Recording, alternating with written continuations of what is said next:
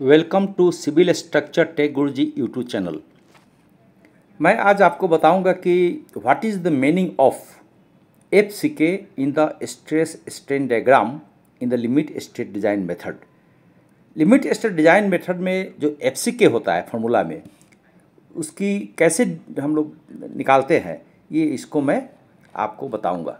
Let us see how the maximum permission value of F C K is determined in the limit state design. Here, this is stress and this is a strain diagram. ये किसके लिए है? This is for the mean for concrete and this curve this curve is known as parabolic curve okay और जो F C के हम determine करते हैं फॉर डिज़ाइन पर्पस उसको हम एक एक करके देखेंगे। Let us start without failure of the time design strength of concrete and steel is obtain by dividing the respective characteristic strength by appropriate partial safety factor for concrete and steel जो design strength है for the concrete and steel उसको आप appropriate factor of safety से उसको हम divide करते हैं। Right right? तो इसमें एक शब्द आती है what is C K C K means it is a characteristic strength of concrete letter C what is F C K तो एफ़ सी के जो होती है, ये कंक्रीट की करेक्टरिस्टिक स्ट्रेंथ है। कोई भी अगर सैंपल टेस्ट करते हैं हम साइट पे, किसी भी ब्रिज कंस्ट्रक्शन हो या आपका building construction any kind of construction के लिए तो it is expected that 95 percent of the test cube will achieve the desired strength of the concrete. अगर M40 की कंक्रीट है तो आपका 95 परसेंट यानी कि 100 में से 95 परसेंट सैंपल जो है, ये M40 अचीव करेगी। जब भी हम डिस्कस करेंगे there will be a term factor of safety in engineering a factor of safety also known as factor of safety factor express how much stronger a system is. That it need to be an intended load. कहने का अर्थ है कि जो factor of safety है हमारी, कोई भी structure जो है, ये आप कितना टाइम्स स्ट्रोंगर बना रहे हैं than it is actually intended for load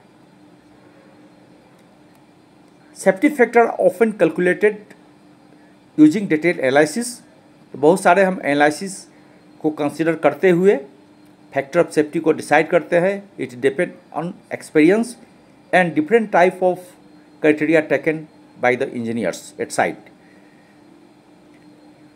कई बार देखा गया है कि साइटों पर comprehensive testing is very impractical जो कि संभव नहीं हो पाता है बहुत सारा टेस्ट करना। For many project like bridge project and building project in the remote areas but structure ability वहाँ की बहुत ज़रूरी होती है to carry out the load of the intended for which it is use तो उसके लिए you have to must be design the structure with reasonable accuracy of the structure structure को हम बहुत अच्छे एक्यूरेसी से बनाएँ, जहाँ पर आप बहुत सारे जो कॉम्प्रेसिव टेस्ट है, वो नहीं कर पाएँगे। तो फैक्टर ऑफ़ सेफ्टी एक बिल्कुल अंदाज से ही लिया जाएगा।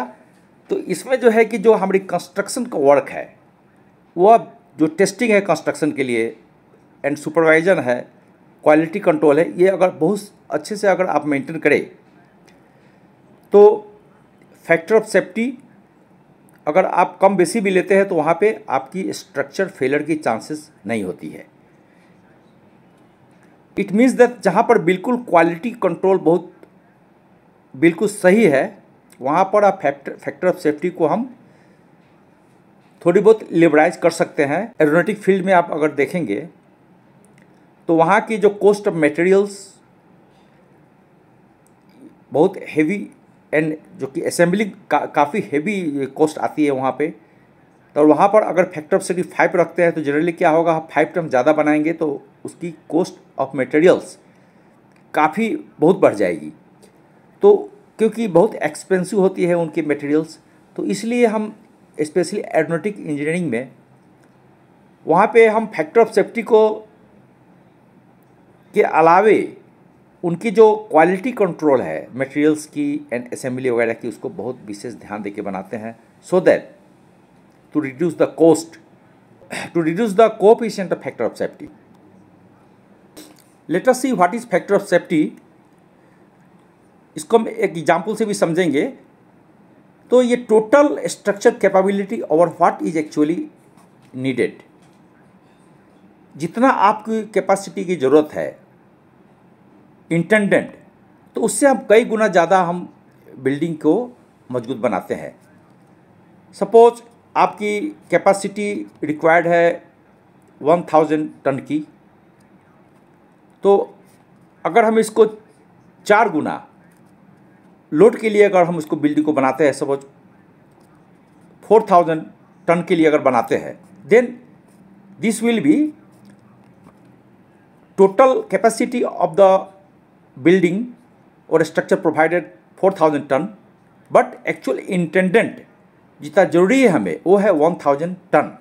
तो अगर आप डिवाइड कर दे then it will be give four this coefficient is the factor of safety four यदि फोर कहने कह रहे हैं, इसका यह अर्थ है कि जितना बिल्डिंग की कैपेसिटी हमको चाहिए कंस्ट्रक्शन में, उसको हम फोर टाइम्स एक्स्ट्रा उसमें डिज़ाइन लोड दे करके हम बना रहे हैं।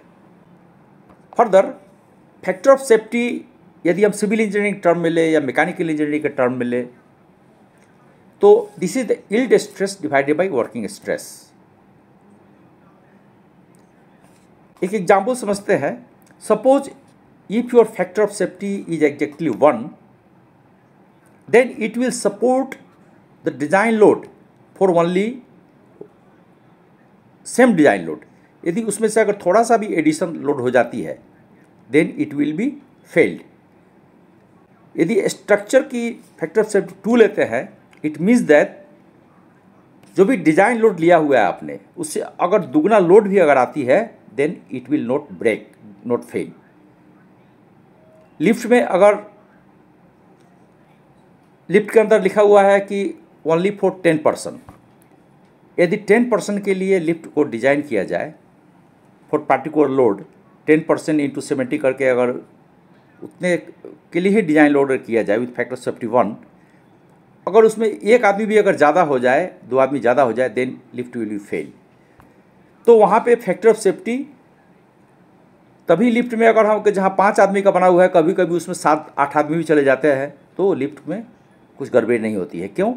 Since there factor of safety by the designer has been taken three और फोर यानी कि चार गुना भी लिफ्ट की अगर उसमें संभव तो नहीं होता है बट अगर दस के जगह अगर बारह चौदह भी हो जाए तो लिफ्ट गिरेगी नहीं। प्लस उसमें एक वार्निंग लगा रहता है कि दस के जगह ग्यारह हो जाए, ठीक है, लेकिन जैसे एक बढ़ेगा, वहाँ पर वार्निंग हो जाएगी this overload for safety of the person तो उम्मीद है कि फैक्टर ऑफ़ सेफ्टी के बारे में आप समझ गए होंगे।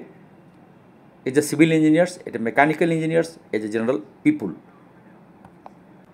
अब देखते हैं कि फैक्टर ऑफ़ सेफ्टी कैसे हम लेते हैं for structure point of view से तो जो लिमिट स्टेट डिज़ाइन मेथड है, उसमें partial factor of safety concrete के लिए 1.5 लेते हैं और स्टील के लिए हम 1.15 लेते हैं। As per I S code 456 2000 this is the partial factor of safety has to be applied to calculate the safe design load. और आगे देखते हैं कैसे हम और आगे इसको हम बढ़ाते हुए देखते हैं।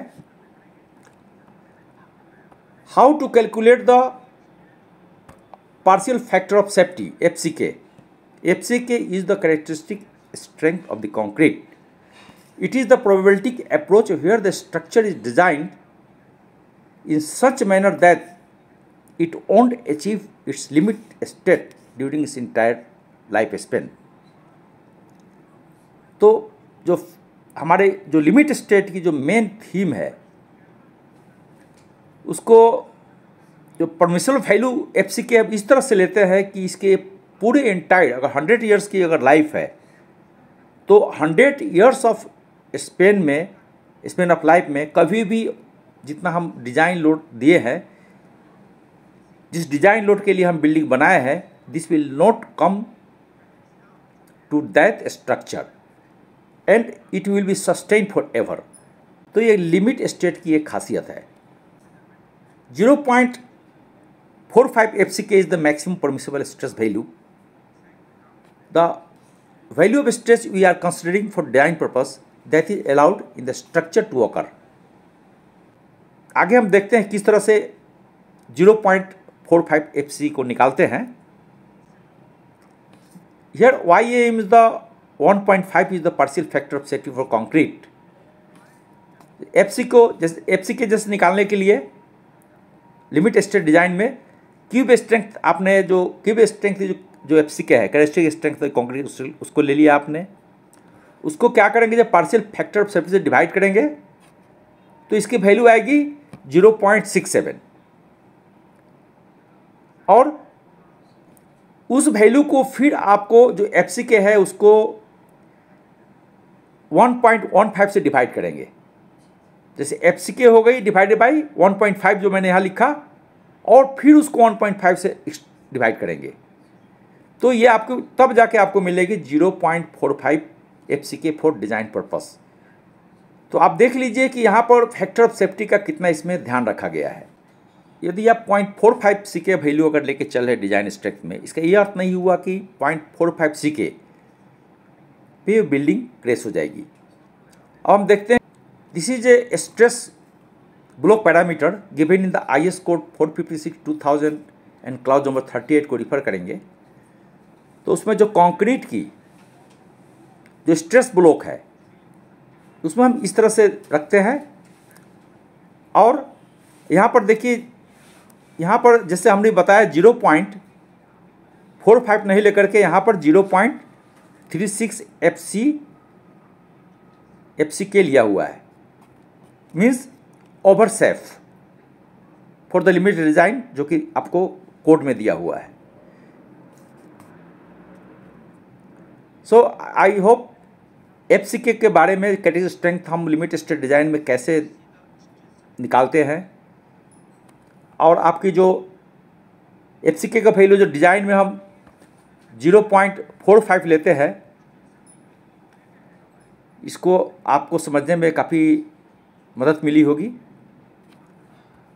वीडियो अगर आपको कुछ समझ आया होगा तो चैनल को लाइक करें, सब्सक्राइब करें, एवं जो नीडी इंजीनियर्स है, कमिंग इंजीनियर्स, उसमें आप शेयर करें।